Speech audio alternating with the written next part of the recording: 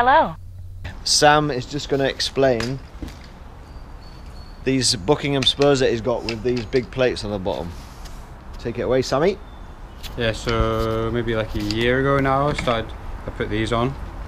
Um, and what it does is it just gives you a much bigger area that your foot's resting on. So you know if you're on the spikes for a big long day, then you come out the you can come out the tree and it's like super sore underneath your feet. So it just helps spread that load and then yeah, keep you keep you way more comfortable in the tree.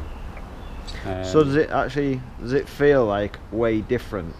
Does it feel like you're actually just standing on like the on the ground, or like what does it feel like compared to? It's not like If you quite on the ground because it is, it is smaller than the size of your foot, but it definitely definitely makes a big difference.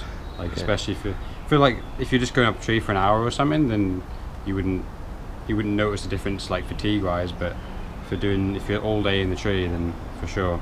And are these? Uh, do, do Buckingham make those specially, or is it a different, or is it just an, an add-on you can get for any spur?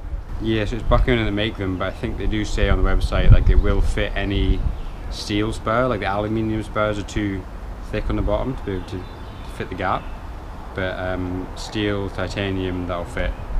it would Um, probably and it would probably wear through aluminium and carbon fiber. Like it would, yeah, it'd wear more than if it was like damage yeah, just like and then they've got the they've got Vibram on the I think it's Vibram, but some sort of rubber on the bottom, just so if you're Still- walking along branches and stuff, but not using the spike, then you've still got some grip there. It's not just going to be super slidey, which is good. Yeah, super easy to put on. But yeah, they do add a lot of weight, so like, so when you are lifting your leg up, it is it is going to be heavier, but I think it's worth it for me anyway.